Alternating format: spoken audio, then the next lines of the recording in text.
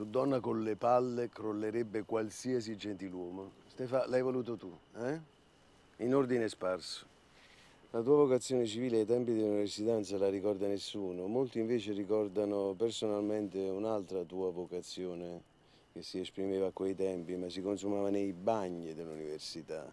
La storia ufficiale del partito l'hai scritta perché per anni sei stata l'amante del capo del partito. I tuoi undici romanzi pubblicati da una piccola casa editrice foraggiata dal partito, recensiti da piccoli giornali vicini al partito, sono romanzi rilevanti, lo dicono tutti. Questo non toglie che anche il mio romanzetto giovanile fosse rilevante, su questo ti do ragione.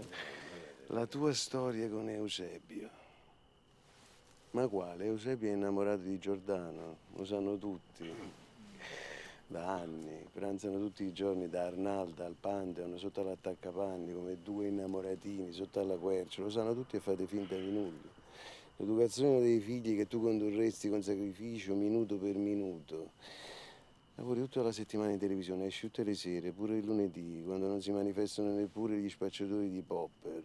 I tuoi figli stanno sempre senza di te, pure durante le vacanze lunghe che ti concedi. Poi hai per la precisione un maggiordomo, un cameriere, un cuoco, un autista che accompagna i ragazzi a scuola, tre babysitter. Insomma, come e quando si manifesta il tuo sacrificio?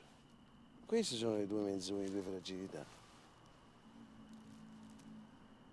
Stefano, madre e donna, hai 53 anni, hai una vita devastata, come tutti noi.